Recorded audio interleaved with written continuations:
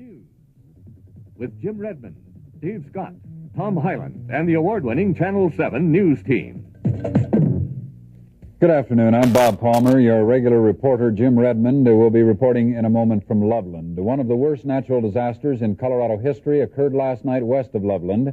Torrential rains east of Estes Park sent a wall of water down the Big Thompson Canyon between Estes Park and Loveland. The unofficial death toll is now 52, but officials fear that the number may be three or four times that great. An estimated 2,500 people were camping in the narrow canyon when water roared down upon them during the night. The daylight revealed hundreds of cabins, barns, cars, trucks, campers, and trailers in the river. Weather officials say 10 to 14 inches of rain fell in the area near Glen Haven and Drake, producing possibly the worst flood ever to hit the Big Thompson. Of those caught by the flood, many escaped by climbing the steep canyon walls. Others who tried to make it down the road were swept to their deaths.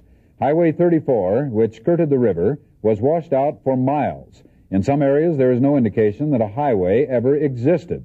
Rescue teams moved into the area during the night and military helicopters began flying up the canyon at dawn today. At least 800 persons have been brought out during the day by land and air, many of them injured, all telling of the most horrible night of their lives. I live in Colorado, a state in the western U.S. known for the Rocky Mountains and our annual snowfall. Yet the worst natural disaster in my state had nothing to do with snow but rain. The Big Thompson flood occurred on July 31, 1976, around the resort town of Estes Park. When the water finally receded, the death toll was 144 lives, not including livestock. In the wake of that disaster, significant studies were done in the area, especially in regard to the foundation of roads and highways. The walls of the roads that withstood the storm were those filled with concrete. In other words, they had a sure and strong foundation.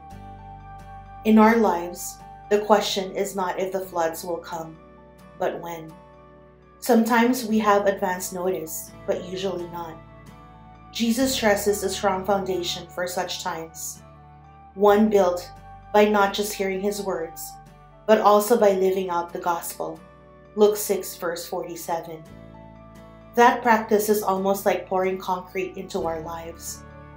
When the floods come, and they will, we can withstand because we've been well built. Verse 48. The absence of practice leaves our lives vulnerable to collapse and destruction. Verse 49. Is the difference between being wise and foolish. It's good to pause occasionally and do a little foundation assessment. Jesus will help us to fortify the weak places, that we might stand strong in His power when the floods come. What weak spots need attention in your life? How might you work on them? Jesus, I want to be not just a hearer, but a doer as well. Give me the vision to see weak places in my foundation that need attention. And thank you for your promised presence when the floods do come.